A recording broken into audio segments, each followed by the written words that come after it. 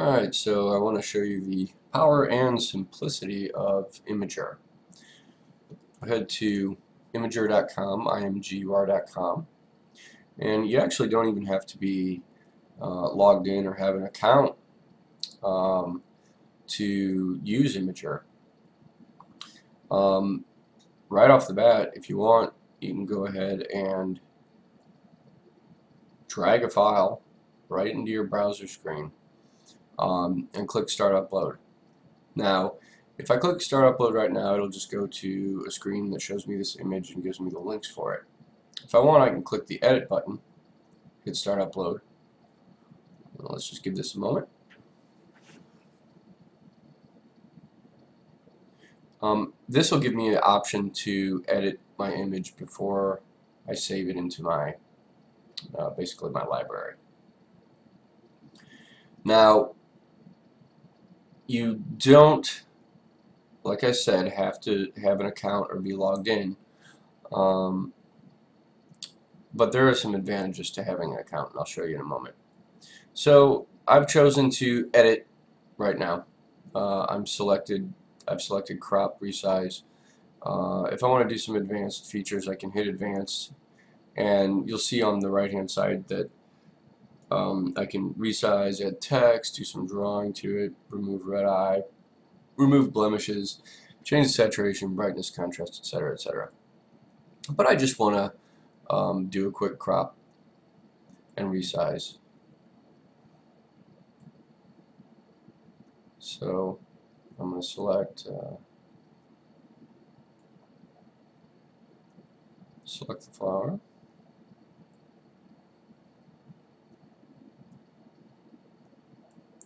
Hit save. Now, had I simply um, hit upload, start upload without checking the edit box, it would have shown me the whole image um, without my cropping. Um, so it gives you an intermediate step there to do some editing. Now, as you can see on the right hand side here, um, we're immediately given links. Um, this is basically this page um, library style. And this is the link that you'd probably want most of the time. This is a direct link to the image. So I can click here to copy it, or I can click and right click and copy. Either way, this is an easy way to copy it. If I open up a new uh, tab and paste that link, as you can see, it goes straight to this image. This image is there and will stay there. Now, I can um, I can go ahead and create an account and this will give me some added benefits. So let me go ahead and show you uh, what happens when I create an account. First of all, uh, just click on the register link and it only takes a minute. There's just a few fields to fill out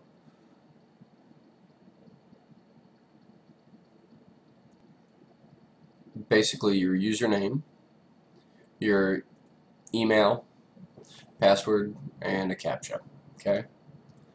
So I'm going to go ahead and log in. And once you've created your account, you'll come straight to this screen. Now, what this does is just gives you an interface where you can manage um, your images. So you can create albums.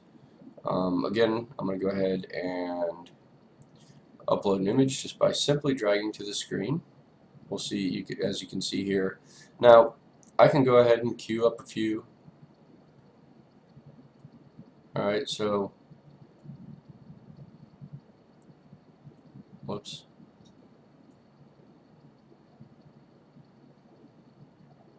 And and as each one um, progresses, it will move on to the next. I can just keep queuing up images if I want to. Um, but I'm just going to upload a few images here um, to show you uh, some of the advantages of creating an account.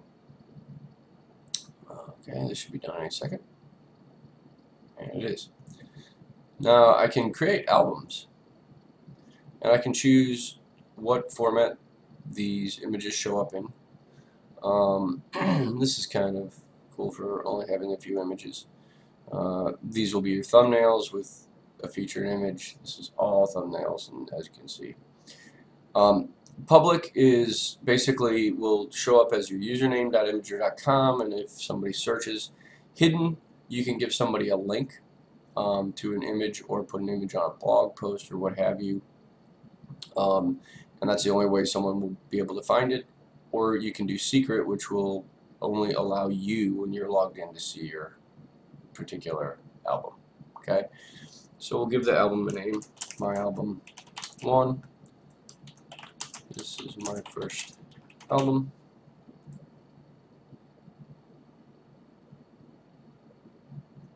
Now I can go ahead and add images and it's going to show me all the available images that are not already in an album. So I'm just going to select this one and this one and hit save.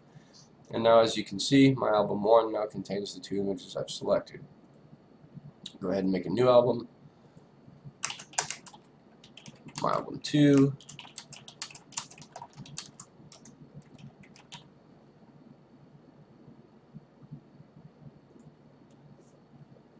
Add images, and that's the only image available because it's the only other image I've added.